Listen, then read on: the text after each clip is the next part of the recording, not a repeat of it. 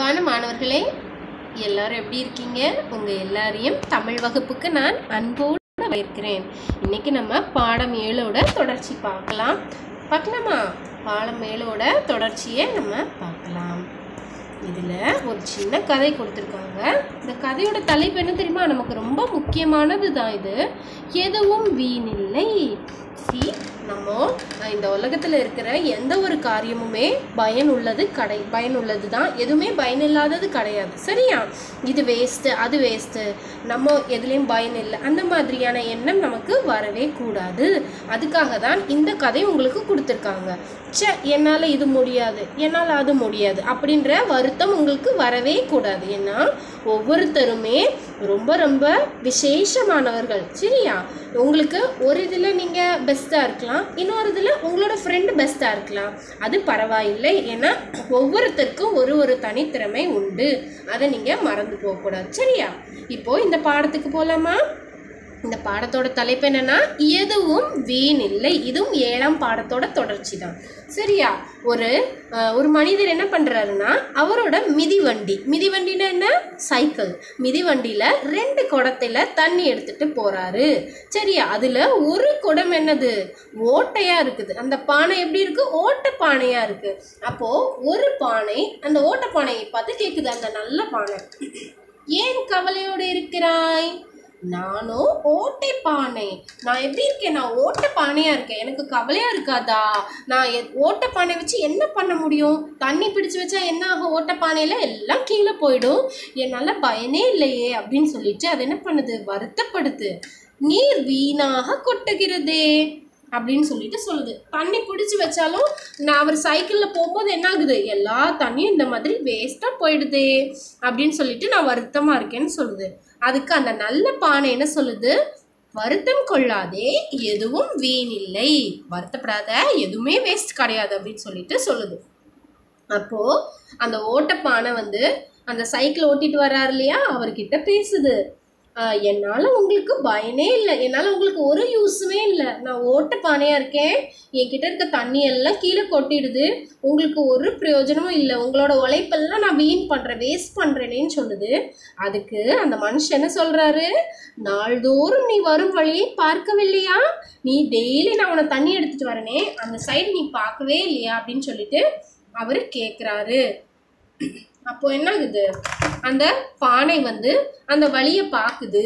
அப்போதான் என்ன சொல்லுது அது? ஆமாம் எதுவும் வீணில்லை அப்படின்னு சொல்லுது. என்ன நடந்திருக்குன்னு பார்த்தீங்களா?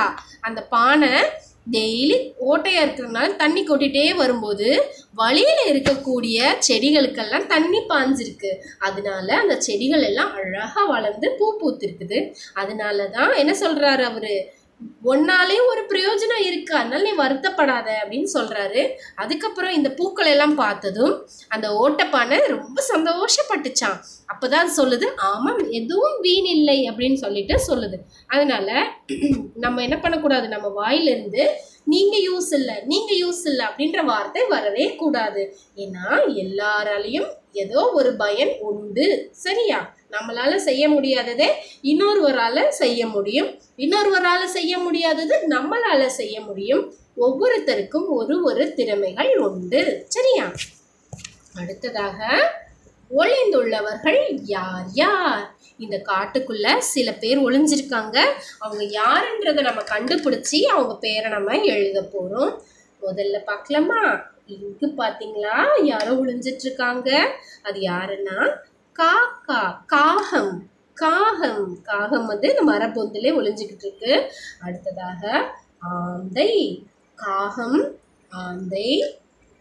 கழுகு. கழுகு. அடுத்ததாக இங்கு பாருங்க மயில். மயில்.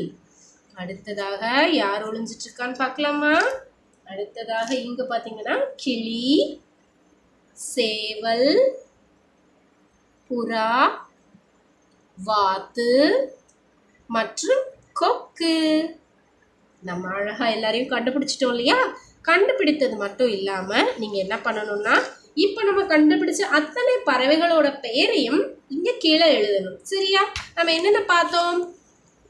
காகம் ஆந்தை கழுகு மயில் கிளி சேவல் வாத்து புறா மற்றும் கொக்கு. இது எல்லாத்தையும் என்ன பண்ணணும் நீங்க? கீழே எழுதணும். சரியா? புத்தகம் இல்லாதவங்க வருத்தப்படக்கூடாது. நீங்க என்ன பண்ணணும்? நோட்டில் அழகா எழுதணும். தேதி குறிப்பிட்டு எழுதியிருக்கணும். சரியா? இதோட பாடம் ஏழு முடிந்தது. இதுக்கு ஹோம்ஒர்க் என்னன்னா சொல்வதை எழுதுக மற்றும் படம் வரைக. ஓகே படம் வரைக ரொம்ப ரொம்ப ஈஸியானது இப்போ சொல்வதை எழுதுக எப்படி எழுதணும்னு நான் சொல்கிறேன் தேதி குறிப்பிட்டுக்கணும் பாடம் எண் எழுதிக்கணும். ஆ சொல்வதை எழுதுகன்னு சொல்லிட்டு ஒன்றுன்னு போட்டுட்டு கொடி கோ டி கொடி.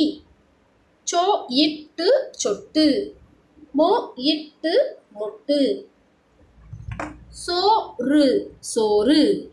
போ இர் வை போர்வை. கோல இம் கோலம். சோலை சோலை. போ இட்டி போட்டி. ம ஈ இல் மயில் நே இ நே இந்த மாதிரி சொல்லிக்கிட்டே எழுதணும்.